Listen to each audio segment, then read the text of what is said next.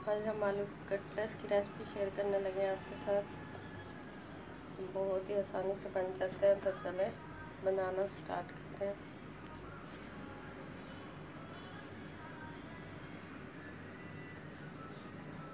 खाने के लिए हम तकरीबन जो है, दो टेबल स्पून हम ऑयल ऐड करेंगे।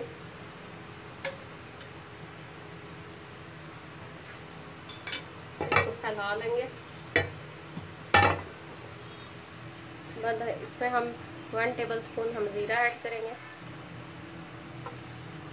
प्याज इसको थोड़ा सा गड़गड़ा लेंगे ज़ीरे को।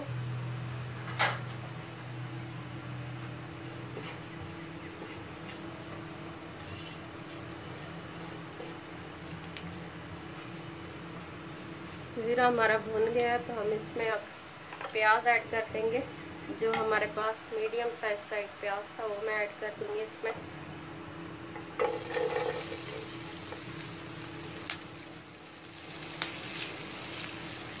बस प्याज को सॉफ्ट कर लेंगे।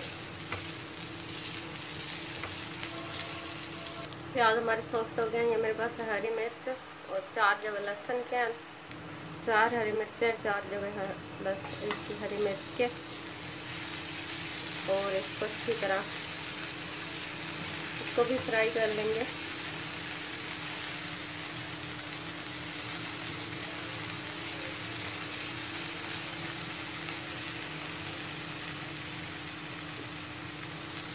डेढ़ कप ऐड किया हुआ चिकन है, ये मैं ऐड कर दूँगी।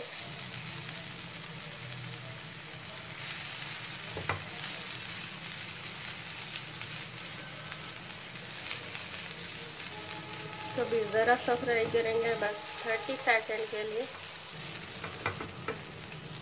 यहाँ मेरे पास मैश किए हुए बॉयल और मैश किए हुए तीन पोटैटोज हैं, ये मैं ऐड कर दूँगी।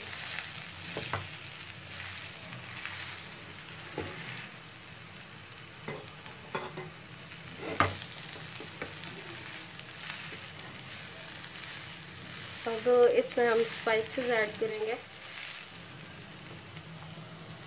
यहाँ हाफ़ टेबल स्पून हम इसमें लाल मिर्च का पाउडर ऐड करेंगे।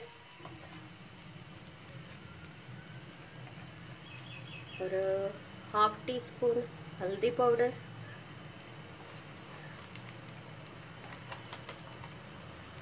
हाफ़ टेबल स्पून ही हम इसमें नमक ऐड करेंगे। वन टीस्पून हम इसमें चिली फ्लेक्स ऐड करेंगे। अच्छी तरह हमने मिक्स करके इसकी जो है बुनाई कर लिया तकरीबन पाँच मिनट के लिए। अब इसको ठंडा होने के लिए रख देंगे। ठंडा हो गया। अब इसमें हम एक लीमो जो है वो स्क्वीज करेंगे। देखें। यहाँ हमने एक एग ले लिया और यहाँ ब्रेड क्रम्स ले लिए हमने। ये मिक्सचर ठंडा हो गया था, हमने एक इसकी इस तरह कटलस बना लिया।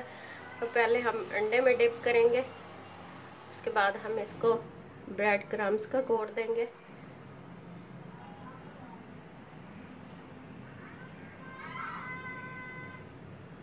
देखें, इस तरह हम तमाम इसी तरह बना लेंगे। आपका कोई लेके हम इसमें कटलस तल लेंगे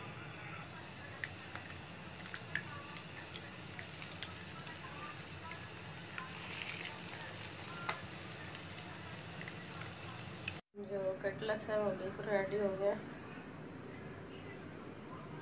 तरह अगर आप मेरे चैनल पे नहीं हैं तो मेरे चैनल को सब्सक्राइब करें। वीडियोस को लाइक और शेयर करें।